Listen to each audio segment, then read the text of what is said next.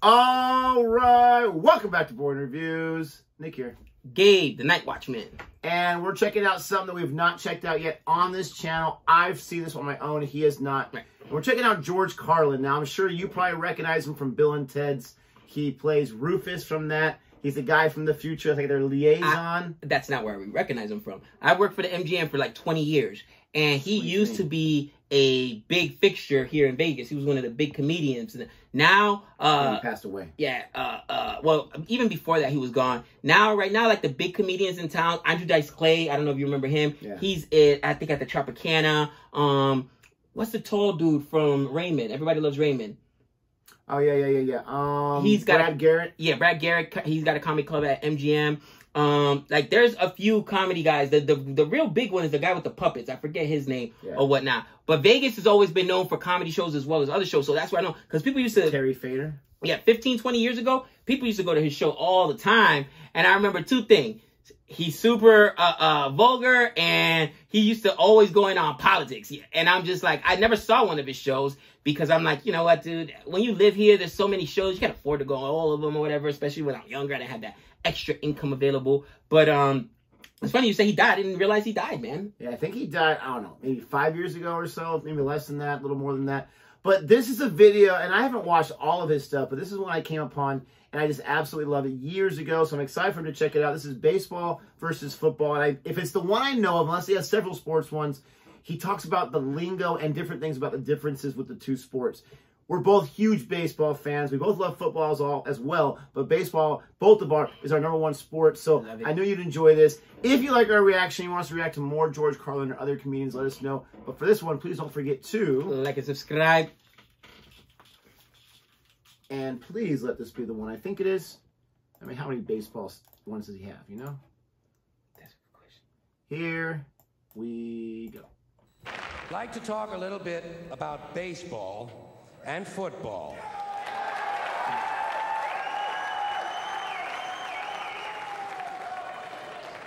Starting with baseball. Baseball is different from any other sport in a lot of different little ways. For instance, in most sports, you score points or you score goals. In baseball, you score runs. In most sports, the ball or the object is put in play by the offensive team. In baseball, the defense puts the ball in play, and only the defensive team is allowed to touch the ball. In fact, in baseball, if an offensive player touches the ball intentionally, he's out. Also, most sports, the team is run by a coach. In baseball, the team is run by a manager. And only in baseball does the manager or the coach have to wear the same uniform the players do. Can you picture Bill Parcells in his New York Giants uniform? Isn't that crazy? You thought about Now, baseball and football are different from one another in other kind of interesting ways, I think. First of all, um, baseball is a 19th century pastoral game. Football is a 20th century technological struggle. Baseball is played on a diamond, in a park, the baseball park. Football is played on a gridiron in a stadium, sometimes called Soldier Field or War Memorial Stadium. Baseball begins in the spring, the season of new life.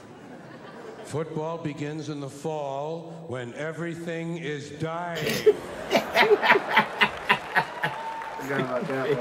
In football, you wear a helmet. In baseball, you wear a cap. Football is concerned with downs. What down is it? Baseball is concerned with ups. Who's up? Are you up? I'm not up. He's up. in football, the specialist comes in to kick. In baseball, the specialist comes in to relieve someone. In football, you receive a penalty. In baseball, you make an error. Whoops. right through the legs Football has hitting, clipping, spearing, blocking, piling on, late hitting, unnecessary roughness, and personal fouls. Baseball has the sacrifice. Football is played in any kind of weather. Rain, sleet, snow, hail, mud. Can't read the numbers on the field, can't read the yard markers, can't read the players' numbers. The struggle will continue. In baseball, if it rains, we don't come out to play. I can't come out to play. It's raining oh, out. So true. Baseball has a seventh inning stretch. Football has the two minute warning. Baseball has no time limit. We don't know when it's going to end. We might have extra innings. Football is rigidly timed and it will end even if we have to go to sudden death. In baseball, during the game in the stands, there's kind of a picnic feeling. Emotions may run high or low, but there's not that much unpleasantness. In football, in the stands during the game, you can be sure that at least 27 times you were perfectly capable of taking the life of a fellow human being. Preferably a stranger. True. And finally, the objectives of the two games are totally different. In football, the object is for the quarterback, otherwise known as the field general, to be on target with his aerial assault, riddling the defense by hitting his receivers with deadly accuracy, in spite of the blitz, even if he has to use the shotgun. With short bullet passes and long bombs, he marches his troops into enemy territory, balancing this aerial assault with a sustained ground attack which punches holes in the forward wall of the enemy's defensive line. Oh gosh.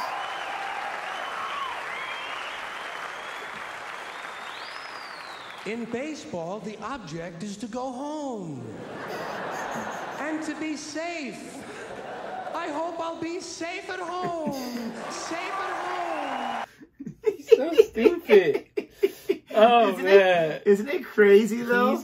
The things that he came up with that are true, by the way, to a certain extent. right.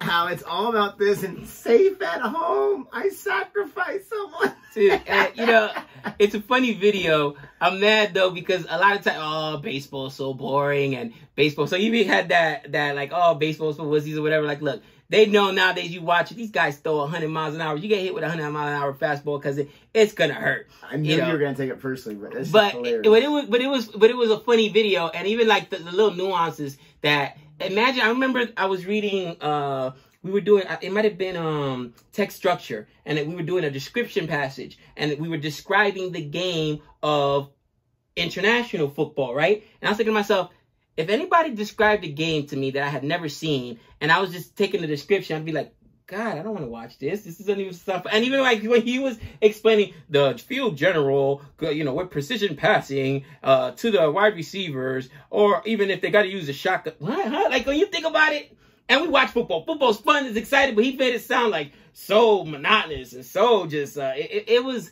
it was really really fun the way he did it, and he's really clever that way. Fantastic, yeah. He's really clever that way. Uh, I mean, for the longest time, people were like, "Oh, baseball is America's ba- ba- pastime. It's the biggest sport in the world. Blah blah blah blah.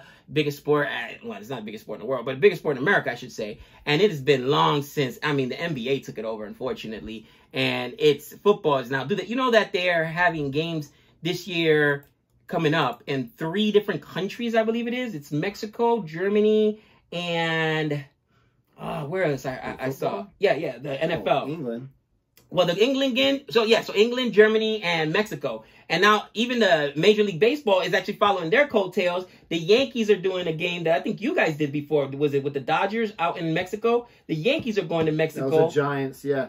They're going to Korea. Right. Remember the Padres? I think it was the Padres. They opened also a few years ago, like in Japan. Like they've they've done this for a little while. yeah, they're trying to like get that international. your boys audience. with the Red Sox went over to um, England. Oh, right? dude, that was the most glorious game. I where remember. it was like a hundred feet for the outfield wall. guys were hitting bombs. It was like Cooperstown, and That's everybody knows Cooperstown in New York, where Cooperstown Little League World Series uh, out there. The the, the yeah, dude, it's like 200 to the wall. I think the deepest might be 220. And guys, and you know, 13 year olds, 14 year olds bombed that. Not that I, I forgot where they played, but it was a super small ra- uh, uh, area. I think, it Well, was, it wasn't a baseball field. It was a baseball They field. had to convert it.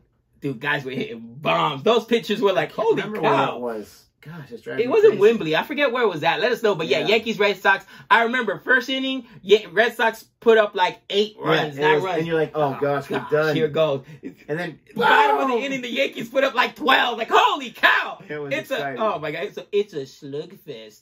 I, but yeah, I mean, I love baseball, but I can get behind the jokes that he's saying right there because he's right. A lot of those war terms are used in football Yeah. through the years, right?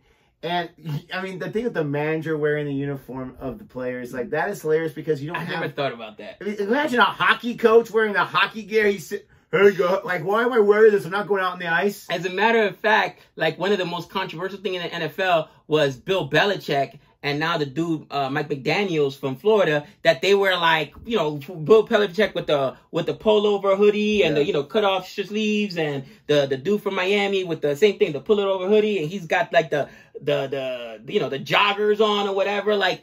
You know, you used to seeing those NFL coaches be professional, suit and tie, Oh, Bill Parcells, yeah. and so, yeah, and it was almost blasphemous to see them on the sideline not doing it. But those guys are winning, so they get away with it. You know what I mean? But there's like almost a culture of like, yeah, you're not wearing a uniform. That's what the players wear. But you know, it actually it made the way for like now you see them as long as they're wearing a logo of the team with an NFL logo somewhere, they're good. It's all about endorsing that sport while they're out there as the coaches.